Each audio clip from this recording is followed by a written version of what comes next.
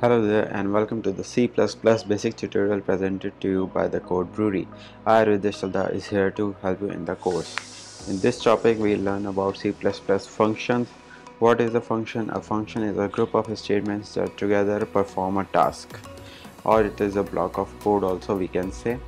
If you haven't subscribed yet please subscribe, like, comment and share with your fellow mates as it costs just a tap to you and means world to us so please do and let's get started. Okay so let us see about some functions. Every C++ program has at least one function which is main and all the most trivial programs can define additional functions. So we can say that main is a function from which uh, the program enters into the the compiler enters into the program and exits through it and it's the most important function. Now function has three parts. It has declaration call and definition. The C++ standard library provides numerous built-in functions that your program can call. For example strcpy or string copy and memcpy memory copy and etc a function is known with various names like a method or a subroutine or a procedure etc so we can say that a functions can be of two types built-in and user-defined. We saw the example of uh, built-in functions. We'll see the example of user-defined also. Okay. So in this section we'll see about defining a function. We'll start with defining it. A general form for defining a function is we normally write the return type. Return type uh, can be of any basic data types or which you might create by using the type def keyword which we have discussed earlier. We write return type then function name. If we want to add the parameter list we use it. You we kind of declare it by using commas between them. If we want to declare one or more then parenthesis and within the parenthesis the body of function is written function parts are return type its function name. Return type is the basic data type. Function name the name which we want to give it. It will be of uh, user defined data functions the parameters and the body of function. As we can see through the example that we have written a function called max. Int is the return type which will which will which the function will return. Max is the function name. Int num1 comma int num2 is the parameter list. And we declare some local variable. Int result if the num1 is greater than num2 then result will be num1 or else it will be num2 as we have seen the if else statement in decision making statements and the return result happens.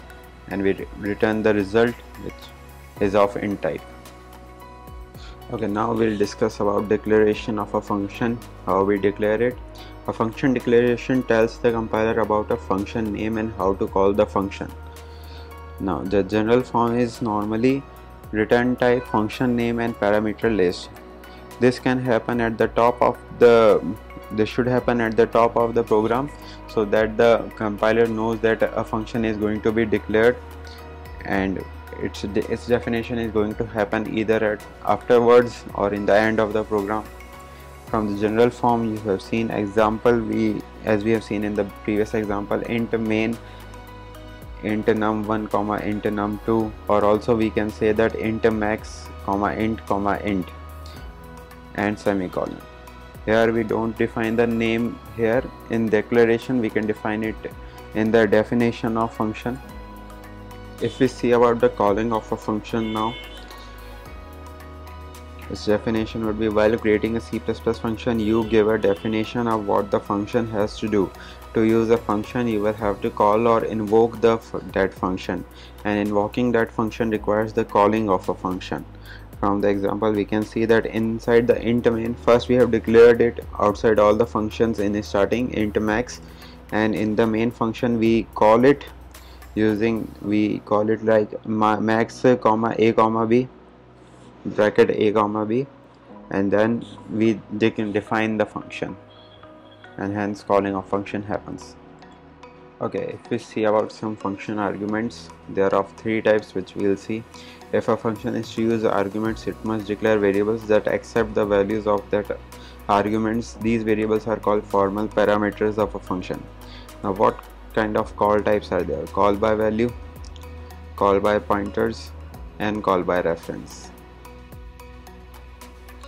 If we define them one by one this method copy call by value method copies the actual value of an argument into the formal parameter of the function. Call by pointer does what the, this method copies the address of an argument into the formal parameters. And call by reference means that this method copies the reference of an argument into the formal parameters. All three are same yet some people consider pointer and reference usually same. But no they are different. They are different in somewhat means.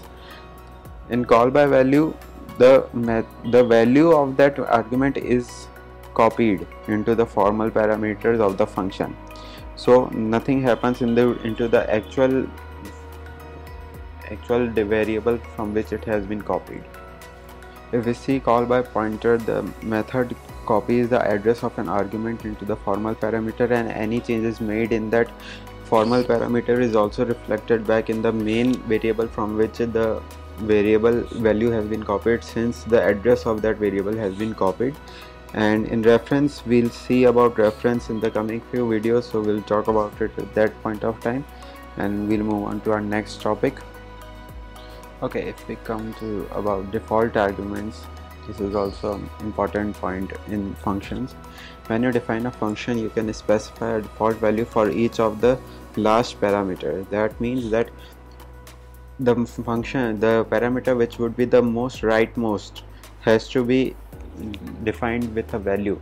You can't define with the leftmost and don't define a value for the rightmost. It would be a wrong protocol. This value will be used if the corresponding argument is left blank when calling the function. If you call the function and you don't give a value at the time of its calling but you have given a default argument before so it will take that value and will use that value in the block of code of function as you can see through the example. Okay so that was the wrap for the topic. I do hope you understood the topic well and if not please do tell what thing you didn't understand and i will try to make it more better. Please do like subscribe comment and share with your fellow mates and i hope you do great and learn great and let's go with the next topic